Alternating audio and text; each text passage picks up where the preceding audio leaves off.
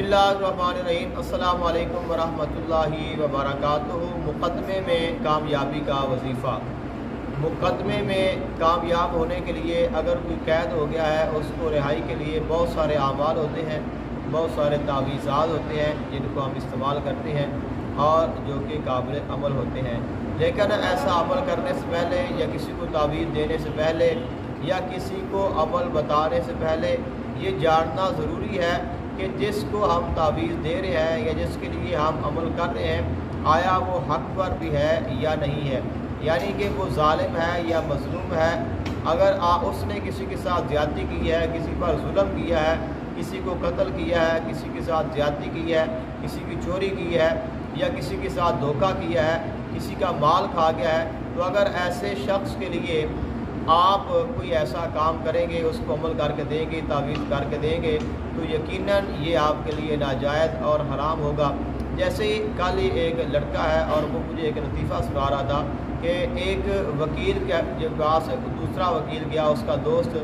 उसने कहा कि आप मुझे कोई बात बताएँ? तो उसने कहा कि मैं आपको ये बताता हूँ कि मैंने एक केस जीता है। और केस था नाजायज़ करेंसी के इस्तेमाल का।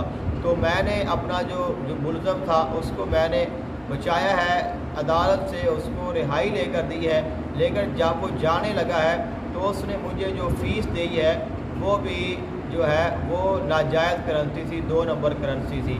यानी कि जिस केस से मैंने उसको उसको रिहाई दी है, अब उसी करेंसी का ही वो मेरे साथ धोखा करके चला गया है। तो यानी कि बाद दफ़ा ऐसा होता है कि वो इंसान होता ही गलत है, नाजायज़ काम किया होता है, किसी के साथ ज़्यादती की होती है तो अगर आप उसके साथ ताउन करेंगे, आप उसको कोई तावीज़ करके देंगे तो यकीनन आप भी उसके गुनाह में बराबर के शरीक होंगे। हाँ अगर कोई मजलूम है, किसी के साथ ज़्यादती हुई है और किसी के साथ ज़्यादती हुई है, धोखा हुआ है, फरेब हुआ है और दूसरे लोग ताकतवर हैं, पैसे वाले हैं और उसकी बात नहीं सुनी जा रही है तो आप ज़रूर उसको तावीज़ बना कर दे सकते हैं। आप उसको अमल भी बता सकते हैं और आप उसके साथ जितना हो सके आप रूहानी और माली तौर पर तामुल कर सकते हैं। तो ऐसे लोग जिनके साथ ज़्यादती हुई है, जो कि शर्य तौर पर मुस्तक हैं कि उनके साथ ताउन किया जाए, उनके साथ किसी भी किस्म का आप ताउन कर सकते हैं। तो आप करें।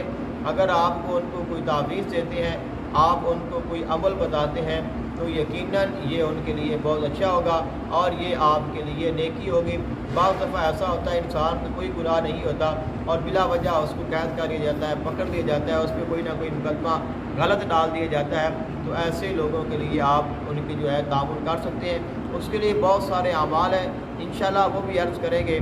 और उनमें से एक अमल है आकायद जहान सल्ला वसम का बताया हुआ लाहौला वलाक़ुवाता बिल्लाज़ीम तो जो शख्स किसी नाजायज़ मुकदमे में पकड़ा जाए या उस पर कोई मुकदमा जो है नजायज़ है, वो कर दिया जाए या कोई कैद हो जाए तो वो शख्स कसरत के साथ लाहौला वलाक़ुवाता बिल्लाज़ीम पढ़ता रहे। तो इन इसकी बरकत से अल्लाह ताला उसको बहुत जल्द रिहाई अदा फरमा देगा।